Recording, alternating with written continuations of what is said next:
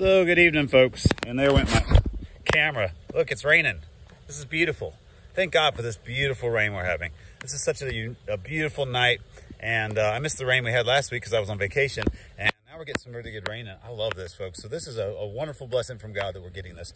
So I want to give you a little recap on tonight. So there were some good things done by City Council tonight. They did finally decide to move forward on the roadway impact fees and try to finally charge the developers instead of the people. And so that was really positive, really positive. Uh, it was a little incident when I spoke tonight, and you might have seen this the, on the 8th, and you might have seen this in, in um, past meetings where Rusty Brockman, our mayor, just loves to just gavel. He just loves that gavel. He he just well with me, of course, he's just going to do it anytime he gets a chance, right? So um, doesn't want to let me speak, can't stand it, and he's got nothing to say up there. And I tried to speak about NBU about tabling an item that was giving a bunch of money to NBU.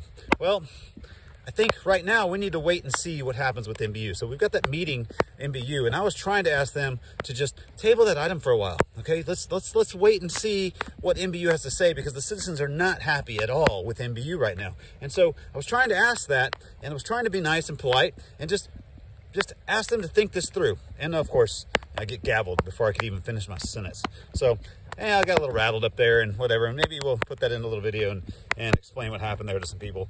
But you know what would be really cool is like a montage of all the times he gavels everybody and just, just cuts them off and cuts them off. I tell you folks, this is not leadership. This is not the leadership we need in this town. We need some people to step up to lead. And there's a couple good people up there on council, and I think we can keep a few of them, but really, for the most part, with the boards and everything, we just kind of need to clean house, folks. So thank you all for watching these videos, for paying attention. You got to be there Wednesday night, folks. So love you all. Take care. See you Wednesday night.